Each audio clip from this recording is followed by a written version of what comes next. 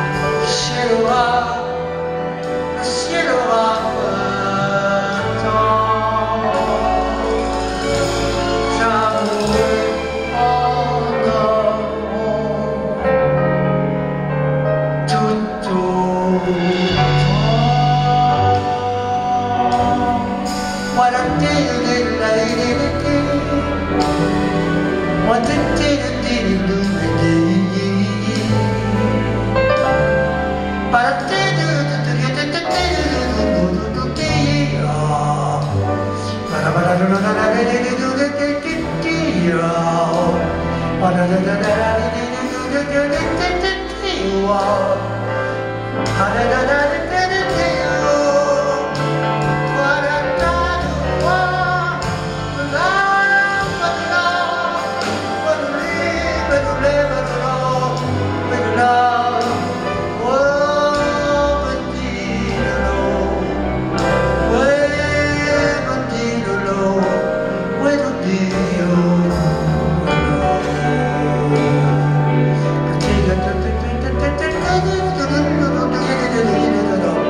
para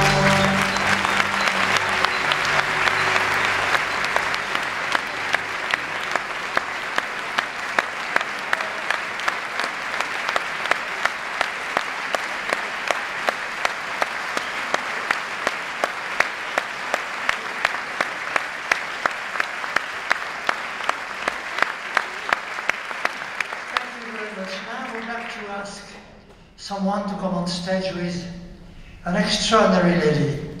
She's a formidable musician. She plays harp like nobody played harp before, nor after. And she's beautiful, she's bright, and she, and I love her very much. She's my wife. Catherine Michel.